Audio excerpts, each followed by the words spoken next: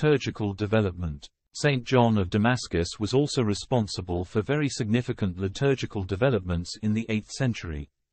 He wrote many liturgical hymns still sung in the church, such as the Canon of Easter Matins, and some of the hymns sung at the Orthodox funeral service.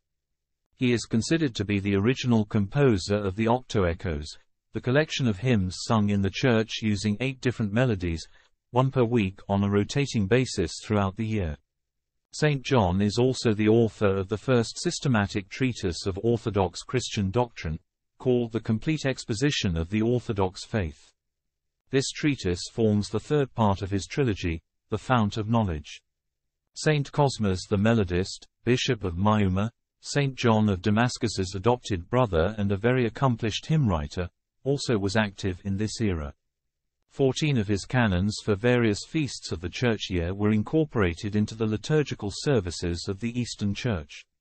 Saint Andrew of Crete, Archbishop of Gortyna, wrote the lengthy penitential canon which is still sung in the Orthodox Church during the first week and then in the fifth week of Great Lent. The feast of the entrance of the Theotokos into the temple was introduced in Constantinople. According to St. Andrew of Crete, the feast was already being celebrated in Jerusalem as early as the 6th century. By the 8th century, it had found its place in the universal calendar of the Orthodox Church.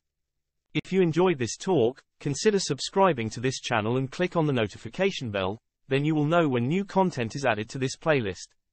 Thank you for listening, and have a blessed day.